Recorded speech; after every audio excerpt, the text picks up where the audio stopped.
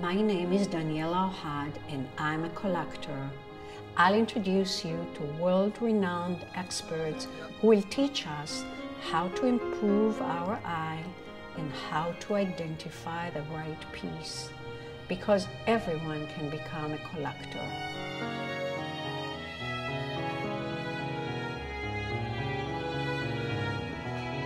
Oh, Daniella, welcome to my gallery. How are you? I'm well, and it's wonderful to have you back. This And is so exciting. Coming to your gallery is like traveling to Japan. Oh, thank you. That's what we've tried to do in this wonderful space. So this show focuses on one region, Mino. What, how does this stand in the history of Japanese Ah, ceramics? Mino. Uh, Mino is one of the most important regions of Japan, both culturally and art historically, as well as historically. And hence it became a region renowned for certain aesthetics as well. Contemporary Japanese ceramics stand at the top for artistic imagination, traditionally seen as the ultimate expression of Japanese art, spirit, and life. Over the past two decades, a new generation of ceramicists have redefined and reshaped clay art, taking ceramics to new horizons. It has become a specialized area of collecting which attracts passionate and dedicated collectors fascinated with ambitious achievements in the clay medium.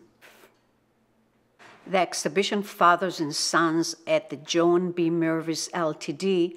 presents the work of four artists from two families, as its title suggests. It showcases the work of the first generation clay artists and examines the way in which the second generation has gained independence while honoring the ceramic tradition of Mino, the city of their birthplace. I found this show to be a great occasion to visit the gallery to learn how to identify excellence in contemporary Japanese clay art and discover what makes it groundbreaking, original, and collectible. Joan, the two fathers represented in the show, they are both legendary clay artists, and both of them have national and regional honors.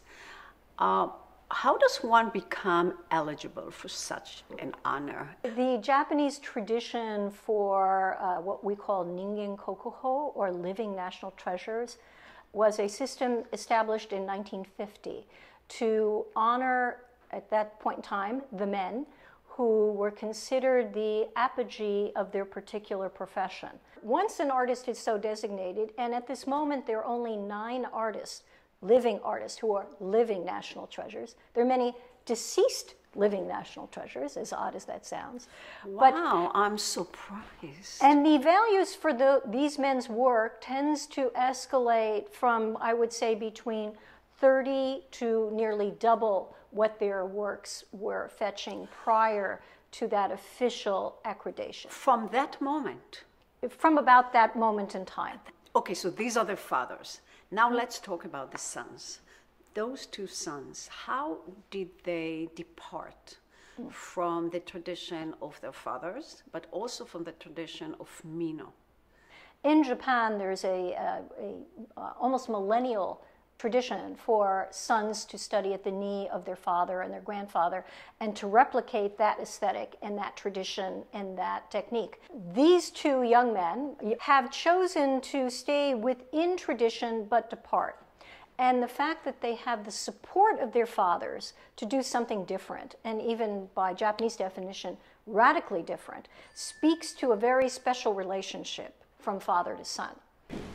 So here we see the two families, father and son, father and son. This plate, with its uh, bifurcated design pattern, with the early spring pattern of plum on one side and the autumn grasses on the far side, separated by the moon being reflected over these cascading waves, is a classic representation from the Rimpa school. Besides being related by blood, they are Yes. related aesthetically by color tone. Wakao Kei, the son, has chosen to adopt the very difficult glaze type called crackle or celadon. And what about the value? Well, age is everything in Japan, and someone who's 85 years old and has won many awards, the price structure in Japan will always be uh, much more elevated than someone who's in their 50s. So the Suzuki family, who lives just five minute car ride away from the Wakao family, because Suzuki Osamu, the artist of this water jar, is a living national treasure, a Ningen Kokuho.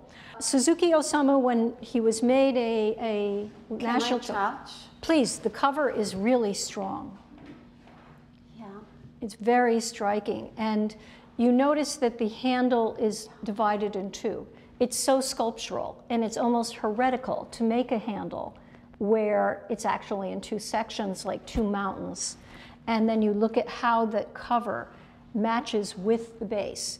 And the piece is sculptural, how the light cascades. Suzuki Tetsu, like Wakao, if you compare these two pieces, there's certain amount of geometry that's consistent between the two.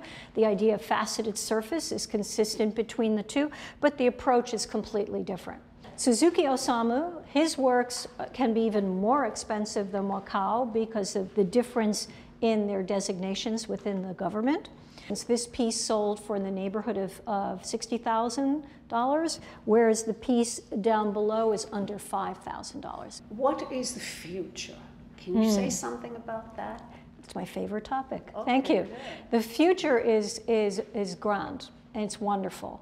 Uh, it, it's, when I started dealing in this field, which was in 1984, there were six museums in the United States making an effort to collect in this field. Now I have over 60 museums in the United States, not only collecting in the field, but making permanent casework and permanent installations within their museums, which most conspicuously here in New York is the Metropolitan Museum. And the interest on the part of collectors that are inspired by these museums. We have exhibitions that have traveled around the United States focused on contemporary clay. Joan, thank you very much for teaching me so much. And it's always great being here. It's wonderful having you here, and I always learn by teaching you because you absorb this material so quickly. And the passion and the love that you express when you look at this work is exactly my raison d'etre. So please come visit us again and enjoy another cup I of tea. I will. I will.